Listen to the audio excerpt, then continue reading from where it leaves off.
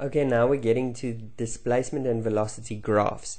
Okay, before we just get right into that, let's just quickly remind ourselves about um, graphs. And there's two very important things, and that is the independent and the dependent variables. Independent, I am spelling it wrong, independent and dependent variables. Okay, so just um, the independent variable is the variable that is not affected by the other variables, and that's, for example, time. Okay, time it doesn't matter at what uh, displacement. Time just goes on in its normal way, so time is always independent. The dependent variables is the displacement and the velocity. And why they are the de de dependent variables is because at different times we have different displacement. So if I travel some route, doesn't matter what route, okay, at different times, like there at that time, this will be my displacement. Okay, at another time, that will be my displacement. Okay, so we see that displacement depends on how much time has elapsed. So that's why that is independent. Now, why that is important is that tells us where it comes on the axis. So when we draw graphs, we have our vertical and our horizontal axis. And on, on our horizontal axis, we always plot our independent variable. In this case, t. If we look at displacement, that's the graph we're going to look at first. That means on the dependent variable axis, we will have displacement. On here, we will have displacement.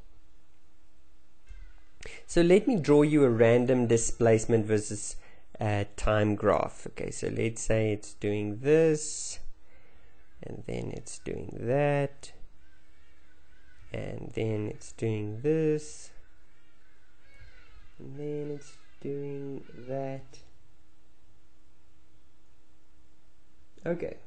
There we go. What is happening at different times on this graph? Now, as you can see, as time goes by, let's say we're at this time, okay, now if I go and read off my displacement, I go up to my graph and I go read off here.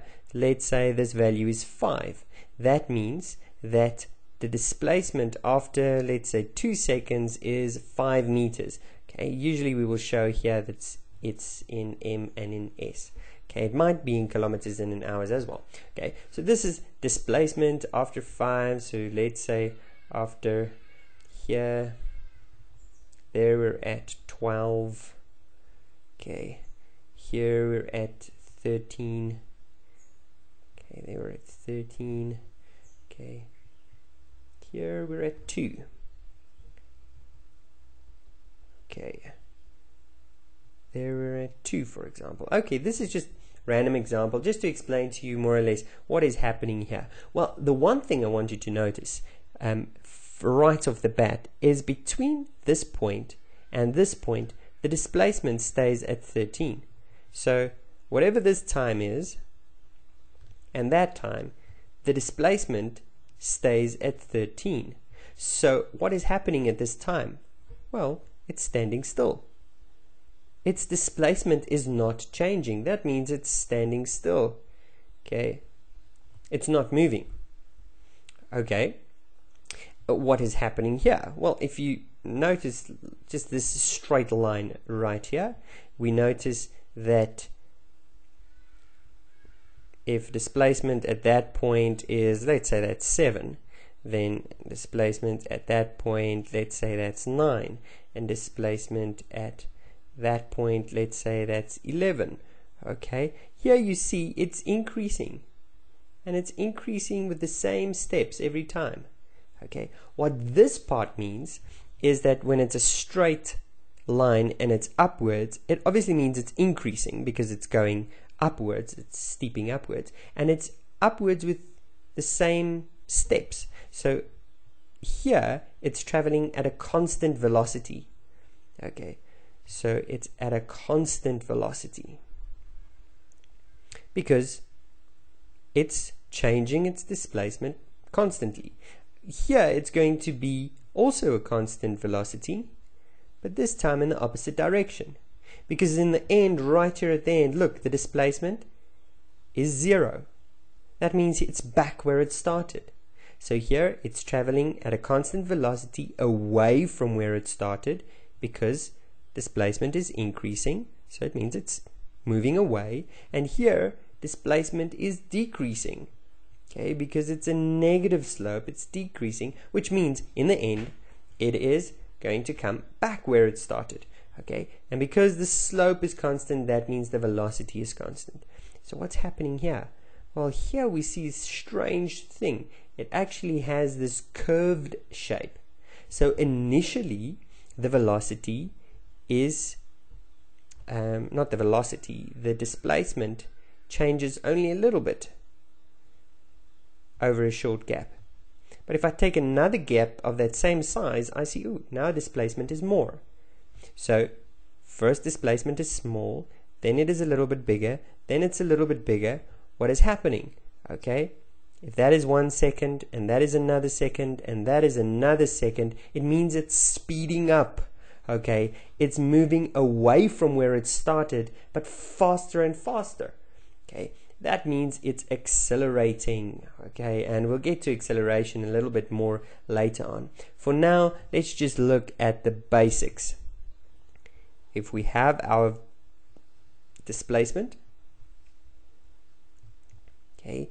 And wherever we are let's say that's our displacement uh, graph that's displacement and that's time. Okay.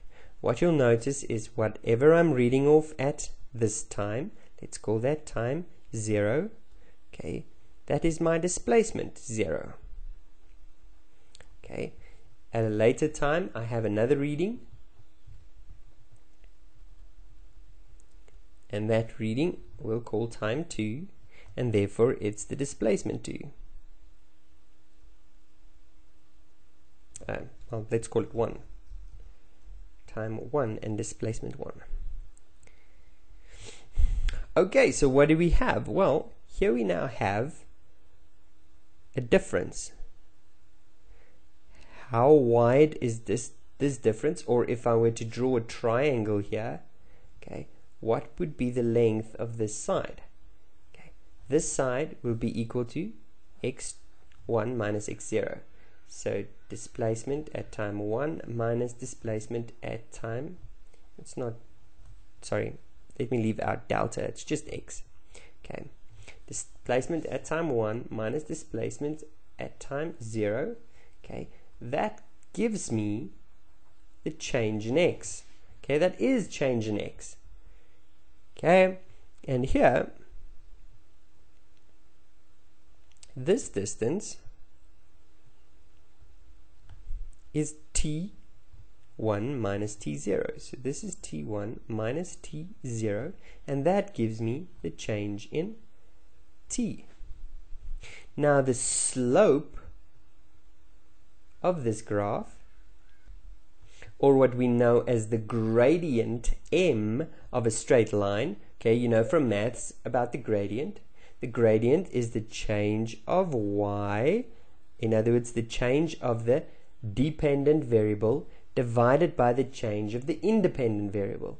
So the gradient is the change of the dependent divided by the change of the independent variable.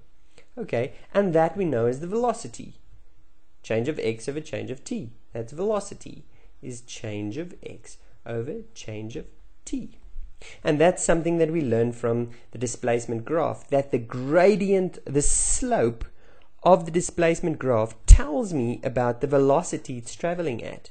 So if we go back here, when the slope was flat, it was standing still. That means velocity is zero, so the slope is zero. When the slope is uphill, okay, it tells me the velocity is constant, okay, and the velocity is positive in this case. Velocity is positive. In other words, it's moving away from where it started okay? When velocity or the slope is negative downhill velocity is negative. Okay? That means it's moving towards where it started. Okay? And when it is this changing slope in other words here you can see when something has this shape it's the, the, the gradient is first flat then it becomes a little bit bigger and then it's even a little bit steeper. Do you see how the slope is increasing? It's getting steeper and steeper. So, for example, a person walking on this slope will start struggling really very hard when they get to this point, okay, because the slope is increasing. That means it's increasing in velocity. First velocity is not much, but it's increasing in velocity. That's obvious, obviously acceleration. Okay, there's our displacement graph. In the next video, we'll look briefly at the velocity graph.